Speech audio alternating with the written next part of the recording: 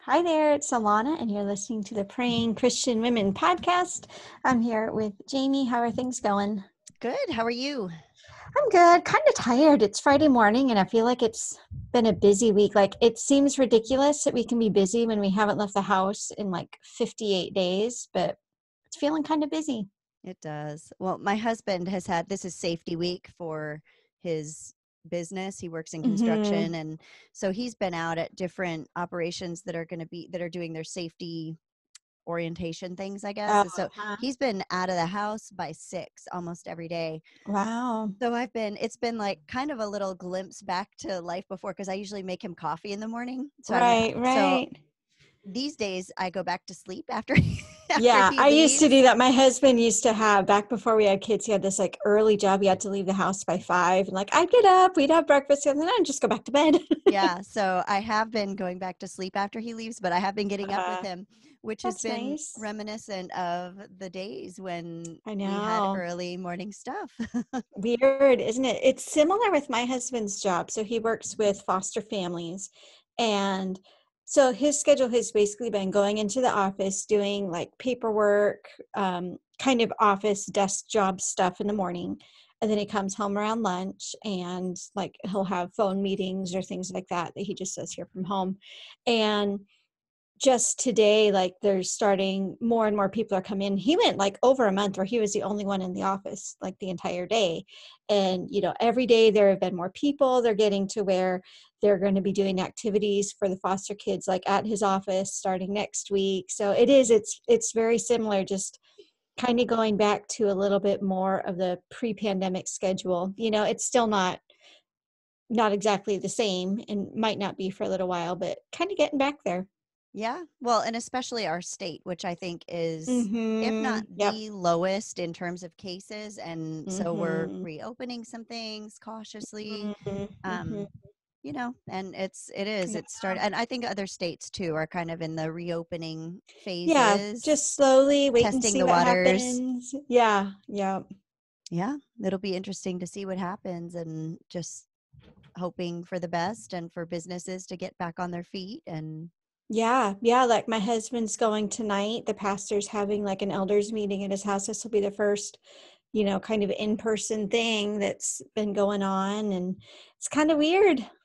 it is it's very different there's uh, you know we're kind of at a crossroads now because there's talk there that they actually specifically said um, in the last governor's update that they would be talking about um, reopening uh, sports like how to do that safely and so being Mhm, that mhm. we have our kids in hockey we've we've had to think okay Mhm. if they open up what is it going to look like for us and yeah. how are we going to do that you know we're talking through okay you know how do we minimize any exposure to anything if they do open things up so Mhm. lots of decisions you know personal decisions to be made as things start to open Yeah. up so i'm a little you know yesterday in particular i've seen it kind of brewing i guess just people being a little bit i don't know maybe getting getting kind of anxious and uh i don't know what you would call it just i'm i'm specifically talking about social media um Uh-huh. people Uh-huh. getting maybe either bored and and starting to get kind of quippy with each other um Mhm. there was a particular video that has gone out that has gotten some really ugly responses on both sides of the of the Uh-huh. covid um, thing that I've been seeing, and I've just it it just disheartens me to see so much anger right now. I feel Mhm. like there's a lot of anger on. I won't even say both sides, meaning people that think that think that that this isn't a big deal, or people that think that it's a really big deal and and are angry with people that don't take it seriously. Not just those two sides, but everywhere in between, people have these Right. ideas, and I just I, it's it's kind of disheartening to see the anger and division Mhm. even within the body of Christ like I'm seeing that happening so I guess Yeah. that's kind of weighing on me just um that we really need to be praying for unity not that everybody has to have the same opinion i mean that's actually Right. the For i think sure. that's the crux of it is not everybody has to have the same opinion but um how do we navigate conversations with love how do we Mhm. navigate social media with love how do we Yeah. just approach our own hearts on the matter which is just a theme that's been running through this whole ordeal for me personally Mhm. and and just i think for everybody so But it is hard. We're getting to where, you know, the first couple weeks, it definitely felt like everybody was in the exact same boat. right This we're is a together universal thing. We're in this together. And now it definitely feels it feels more divided. In addition to people being angry with people, there's a lot of just mistrust because like are we getting the full picture? And you know, you can read two headlines that like are saying the exact same thing and come to complete opposite um, conclusions about it you Yeah. know? And so what do you, what do you do with that? Of course there's going to be mistrust because there's no way to sift through there's no way that someone like you or me kind of like what we talked about when you were talking about god's omniscience like there's no way that you and i are going to know all the contingencies. Like there's no way that you and i even know the scope of what is going on right now and that is hard because we're we we feel helpless and that's not a good feeling. So either you know you feel helpless because the big bad government has shut everything down for this itty bitty virus it's you know no worse than the flu is how some people look at it or you know we've got this cataclysmic virus that could end the human race that people aren't taking seriously. You know like those are the two two extremes and so of course there's going to be just there's a lot of fear and mistrust and it's hard It is. And it's hard when when you don't know, like you said, you don't know what to believe because we're not Mhm. experts. We're not, yeah you know, hard to know who's got an agenda and who doesn't. I mean, it is. It's Jamie. very hard. everybody has an agenda That's right. There you go. All right. Step one, takeaway for today. Everybody has an right. agenda. That's true. Absolutely.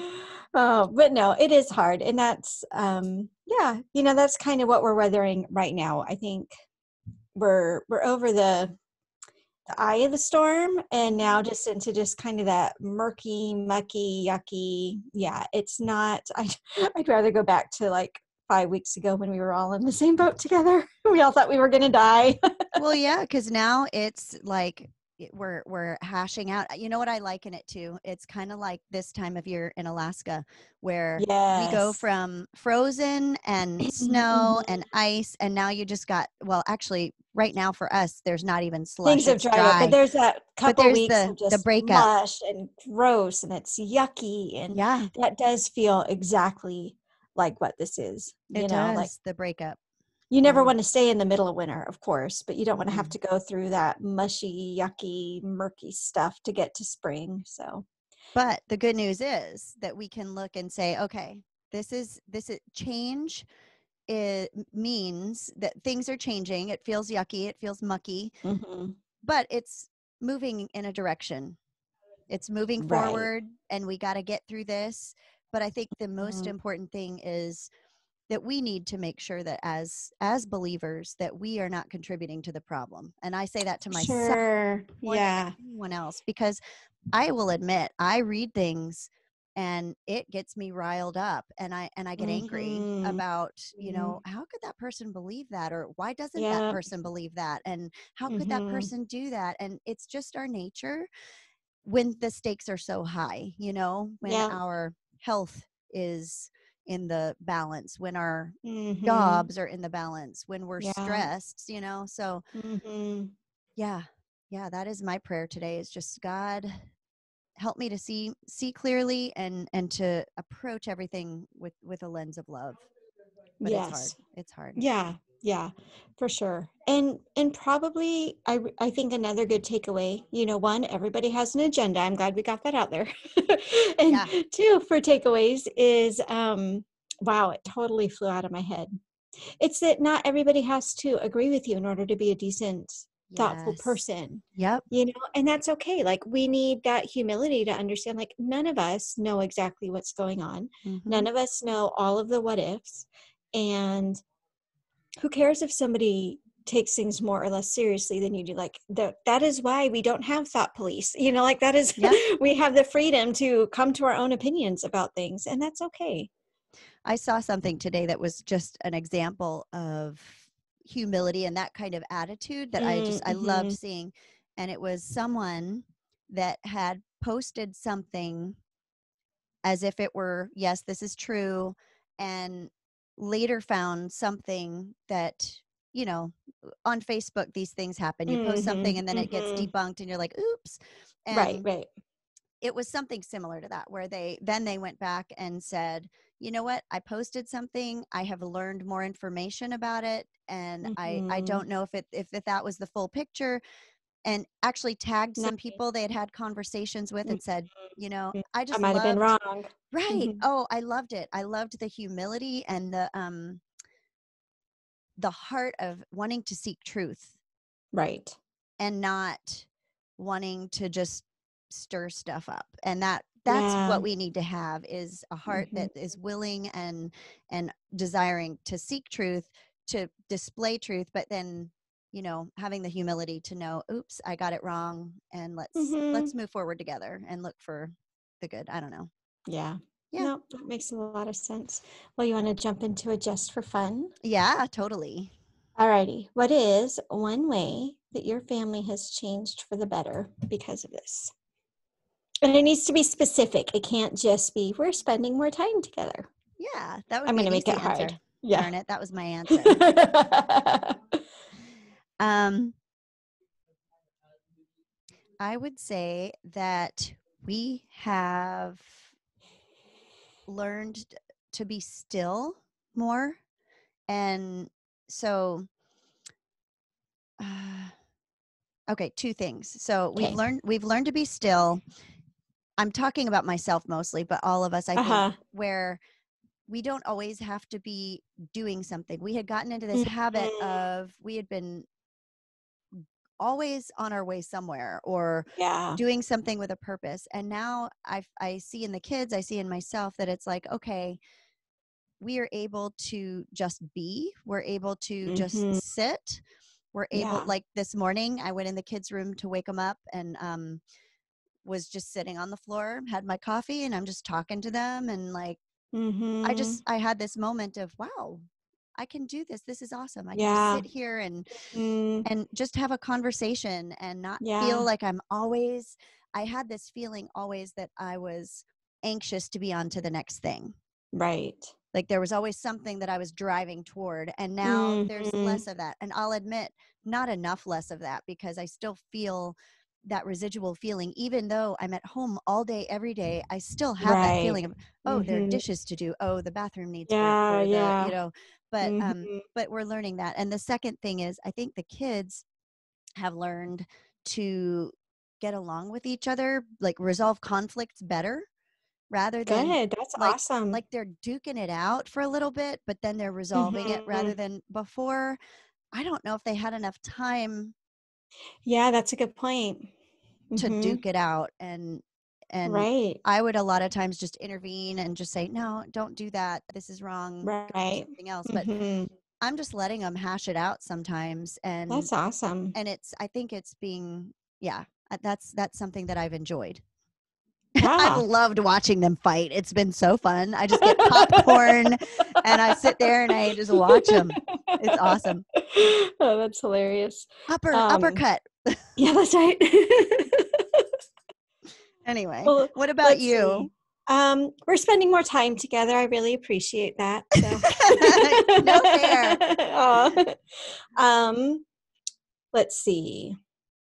We are definitely enjoying our TV time together. The kids are loving Psych. We are laughing like crazy. that's we now have like 18 million inside jokes because they have like all these funny catchphrases and things like that.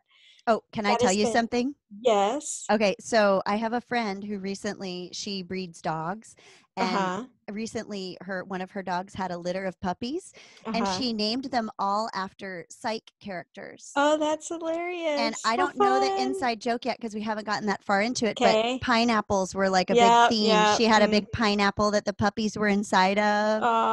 Yeah, that- cute. I love it. I'll have to send. I'll have to send you her little uh, out or whatever, like her post. I'll tag you That's in it or cute. something. Yeah, yeah, yeah. Anyway, I'm Yeah. sorry I interrupted. No, that's been super fun. And then we're just doing more walks as a family. And it's kind of nice because like our our kids enjoy hiking and we haven't gotten back into hiking and i just enjoy walking like to me it's just as easy to walk the neighborhood like it's easier to walk the neighborhood than to pack everybody up drive over here put your parking permit blah blah blah but for the kids like walking the neighborhood it's sort of like what's the point like if we're not going Right. somewhere what's the point and Mhm. basically like right now the point is there's nothing else to do the dogs need exercise you need exercise and we need fresh air so it's just been kind of nice to not have the um i guess the the fights about it because Mhm. like i could be every single day let's go on a walk and i would get do we have to why and now it's just it's what we do That's cool. Yeah That's really neat. Yeah Well, I've also realized that I have been I've been trying to be more fun because I've realized I'm not a super fun mom. I'm I really well, I just I don't I I don't know, like we laugh and and have jokes and stuff, but like Mhm. there's certain things that I'll do and certain things that I'm just like "Mm, I don't really want to do that. And yeah yeah yeah uh, and I I guess that's okay. It's okay to have boundaries, but so true as a for instance, I've been making a conscious choice to try to be more fun. And so last night, my daughter loves her rollerblades. So all three of the kids Uh-huh. have rollerblades, and um, she every time she's outside, she puts them on and she's doing whatever, playing catch Fun. in her rollerblades, just tooling around, playing basketball in her rollerblades. wow And so I, she wanted me to put on my oldest son's rollerblades because uh-huh his feet are way bigger than mine now, and his rollerblades are too small right now. oh okay. So she said maybe they'll fit you. And Aw. my my last experience with rollerblades was not a good one. uh-huh I was I think in high school and my friend oh wow yeah, my best friend convinced me to buy rollerblades with her and we got them and we went to DC. I can't remember if it was the Tidal Basin or somewhere. And there was a hill like and so I just all I remember about that day was oh no getting out of control rolling down the hill because I could roller skate really well. Like I thought, oh, this will be easy. It's not the same. Mm. oh And no I wiped out. I had a big wipeout. So Mm. So I did, but I put the rollerblades on last night and I Uh-huh. looked like a moron. I had my puffy I had my puffy coat on because I'm a cold Uh-huh. wimp and it was kind of cool yeah and yeah. And I had elbow pads over my puffy coat. Like. The Michelin man going down the street. But it was so much fun. And Aw. she stopped and she's like, Mom, we just have so much fun together, don't we? Oh that's adorable I and I wanted to cry because Aw. what I've come to realize is when I do take the time not to be like quote unquote busy, in my Yeah. mind I'm busy. I got adult yeah stuff yeah yeah yeah Um it only takes a few of those times you know maybe one you know once a week if i were to do that and my kid is going to remember that like that right it doesn't even have to be once a week. It can be like once, once a month year. once a year. Yeah but that memory is going to stay. Like i, I was listening Yeah. to dave ramsey a few weeks ago and he said if you ask my daughters about um, going on dates with their dad Mhm. um, they'll tell you oh we did that all the time he's like yeah. I took them on maybe five dates total right right in their whole life. Yeah. But they and he's like remember they Mhm. remembered it and they thought it was so that is exciting to me. So that i think that's another benefit i've had the the physical well physical whatever the time mm-hmm. and Logistical, ability yeah. logistical time to be like i want to be more fun and i have been able to do little just silly stuff I like love that. that. yeah that was Yeah. fun My dad used to do this thing. So my mom died when I was three. So he raised my brother and me as a single dad for about five years. And he remained very, very playful, which looking back, like it would have been enough for him to keep us from starving. You know what I mean? But right he was playful. We went camping a lot. And and maybe it's the same thing. Maybe we went camping like three times. In my mind, we were camping like once a month, you know? right um, and he would do this thing when he came home from work i forget the name but basically like it was a game where the entire point of the game was to act as silly as we could and he would actually set a timer for half an hour like can you imagine half an hour like running around being silly? Like doesn't that sound exhausting to you? It does. It does and he would like that that was just kind of a regular a regular thing i don't remember if it was every day once a week i think like my memory is every day and i'm like no no parent could do that every single day because yeah it takes energy to be playful i totally get what you mean like i don't I don't do the pretend play anymore at all because it's just it's exhausting. I do. I'm like, I'll do puzzles. I don't like to role Yep. play. My my daughter Yeah. loves to play puppies, where she's the puppy, And it's adorable. But I I just I can't. I can't. See, but I would do that if it meant I get like cuddles. You know what I mean? Oh, Like, yeah. Come here, little puppy. Come give me a hug. If I got cuddles out of it, I would do that. I would. But she's bossy. She's bossy about it. She's Oh. like, now you've got to tell me to sit and roll over. and okay, now- yeah, no. There are rules, and it's got to be right. rules. No, but it Oh, is. she's she's she's a hoot. But yeah, so Mhm. That's good. Yeah, fun, playful is fun and good, and I Mhm, I think we will come out of this and I will carry that on because of the few Yeah. the moments that I've had that have been like that that have just been like, Mhm. wow, that that's making a difference in my kids. Yeah. Yeah. Aw, I love that. Yeah. What about you and your husband? Have you guys found any like special ways to connect during this time? Working on our bathroom. yeah. Yeah. I was wondering if that's where you were going to go. It was, yeah. We actually Mhm. like we'll turn music on in the bathroom and it's really close now. We're really close to having it done. And cool. we'll turn music on and just kind of you know that's been one of our things another thing is every once in a while he'll just say eh, we'll kick the kids outside to play and he'll say hey let's Mhm. just let's just sit down in our camp chairs and watch them play like we Aw, won't play that's but we'll just sit there and yeah. so Yeah. we'll just sit there so it's been cool That's or very fun. the most recent thing is so there are a few shows that we watch that they can't watch Yeah. and Yeah. and so um okay so that reminds me of curious george I, this is a total aside Yeah. Okay. it says curious george is a monkey and he can do things that you can't do did you ever watch that show A little bit. I know the books better. anyway but it's Yeah. That's an aside. Anyway so we that, that was horrible. That was like a good aside. i should just edit that out. That just reminds we can watch shows that you can't watch. So don't come in the office. So we'll go into So, my have you ever read Frog and Toad? frog and toad? I, that sounds familiar but it doesn't like i don't know. I'm not sure. Yeah, so it's a frog and a toad. That's all I wanted to say. man these go are, on. these are gems go on, go on, Okay. please. anyway so we'll go into the spare bedroom which is where he does his work it's set up as his office right Yeah. now mhm, and so mhm. we have a bed in there but it folds up and so he's Yeah. got a little desk in there and or you know like a fold up camp table and there's Mhm. a tv in there so sometime and he has his exercise equipment in there so we'll go in there and he'll either exercise or we'll eat dinner and sometimes we'll just have the kids eat in one room watching a Right, show right. and we'll go in and watch a show in there together Mhm, so that, it's mhm. almost That's like a date a date night. Yeah, yeah. how about you guys Um, going on walks, you know, at least a few times a week. It'll just be Scott and me, and that's that's really you. good. Just yeah, just talking time. Um, you know, he's just he's around more, and it's really really nice. You know, Mhm. he's home by lunch, and it's not like we're spending, um, you know, every minute from noon until bedtime, like within five feet of each other. But it's just you know, it's nice. yeah that's cool yeah in terms of like specifics i think probably the the walks are the one way that we just kind of get our alone time we don't have to really think about what the kids are doing don't have to worry if you know if we have something to talk about that we don't want left over here we don't need to worry about it things like that mm-hmm.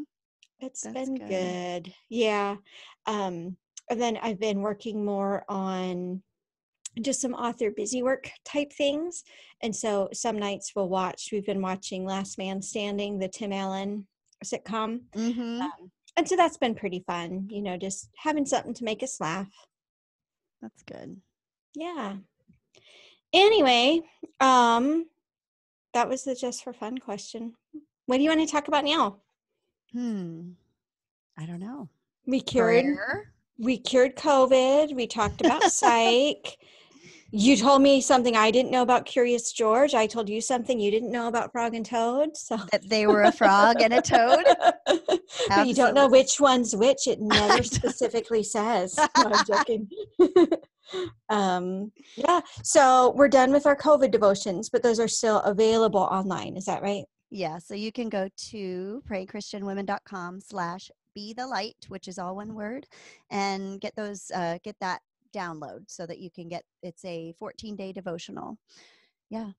And yesterday was the National Day of Prayer, which last year um, we had a, I think I may have re aired our interview with Jennifer Kennedy Dean for that day, but uh, we didn't, Mm. I didn't do anything. Yeah. Yesterday we did not recognize that, but if you were part of that, it's, it's a day where everybody comes together and prays for our nation, prays for our world. Um, and Jennifer Kennedy Dean actually had a book that was used as kind of a reference guide. So Oh, I can post a link to that in our description in case they're interested in doing that because every day can be the National Day of Prayer. We can always, you know, we can always pray for our nation.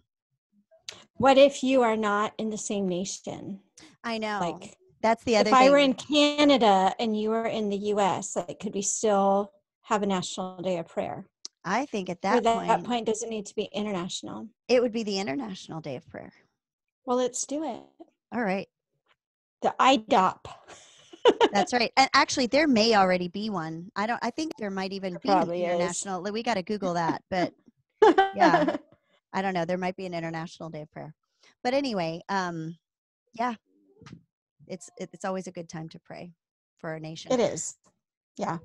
Um, I had one more thing that I was thinking we could point Yeah, people to. Absolutely. So since you and I have finished, we've been reading these devotions on the air, and so we've we've completed our devotion. You know, I don't know about everybody listening if they're caught up yet. I'm joking. but um, but we have talked a little bit about going back to some of the coffee break type of episodes. And so Mhm. those are where people listening will send us questions about prayer.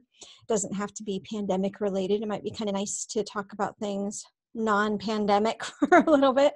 So yeah, if you have questions, you can submit those to us at prayingchristianwomen.com slash questions because like I definitely want to keep up regularly recording and so that will give us something to kind of keep the focus um, you know back to prayer for sure. And yeah so prayingchristianwomen.com slash questions. It doesn't even have to be like a specific question. It can be more like hey can you guys talk about this? or i find that this is a this is a prayer struggle i have. I was wondering if other people do too things like that it doesn't have to be like a specific does the bible say this it can be anything prayer related yeah. Prayer topic ideas or yeah, podcast topic Yeah. ideas, stuff like that. Mhm. Yeah. exactly yes because i think like i've i've very very much appreciated us being able to just have these kind of usually lighthearted conversations but i don't know how you feel i'm i'm kind of excited to almost put those behind us i mean i'm sure we'll still talk about what's going on pandemic wise but it'll be nice to get into a more regular format maybe I'm feeling that way too. I think I think it's time. I find that when I'm looking at Facebook or Instagram and I see just inspirational quotes about who God is and about, you know, that Mhm. it's so refreshing that it doesn't have to be pandemic related. So I think I maybe people are getting others are getting to that point too of like, okay, we can get back to because it is pandemic related when it's something that's going to strengthen you and, and put your focus on God. hmm Yeah. Absolutely. And, you know, I, I'm very, very glad that we have been doing it the way we've been doing it. But I'm also looking forward to, um, yeah, to a going back to a more original esque type format. Yep. Cool. Well, right. should we pray? I think that would be a good idea. You want to pray or you want Well, me to maybe pray? I'll close this today. Yeah, That sounds I'll good. close this today. God, we just thank you so much for the ways that you've been carrying so many people through such a trying time. We pray for people who have lost jobs or income or who are sick or worried. And we just thank you that you know the details for each and every one of our lives. And we just commit ourselves to you. Thank you for keeping Jamie and her family safe and well. Thank you for your protection over the state of Alaska. And we just pray for your sustaining power to sustain our health, sustain our families, sustain our economy, our nations, and all the nations represented by those listening, God. We just know that you're the one who is sovereign over every single thing, and you are so powerful. And we're so grateful to you for all the ways you've provided for us. Amen. Amen. All righty. Well, thank you all for listening. And Jamie, thank you for recording with me. And we'll talk to everybody soon ish.